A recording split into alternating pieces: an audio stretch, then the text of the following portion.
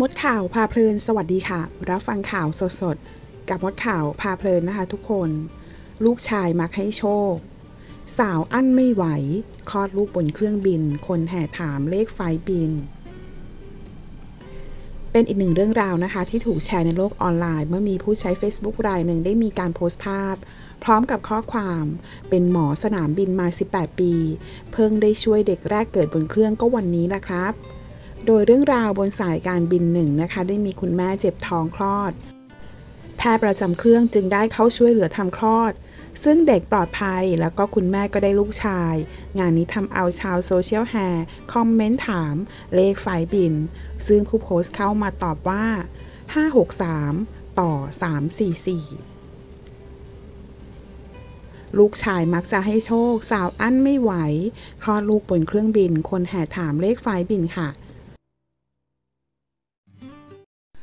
ถ้าเพื่อนๆชอบคลิปนี้ฝากกดไลค์และกดกระดิ่งติดตามเพื่อเป็นกำลังใจให้ช่องมดข่าวพาเพลินด้วยนะคะ ขอบคุณค่ะ